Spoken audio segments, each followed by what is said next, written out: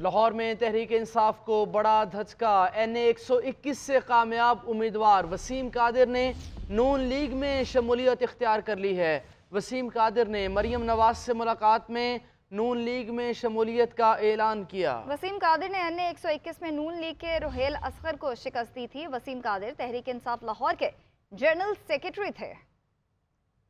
General secretary Lahore था।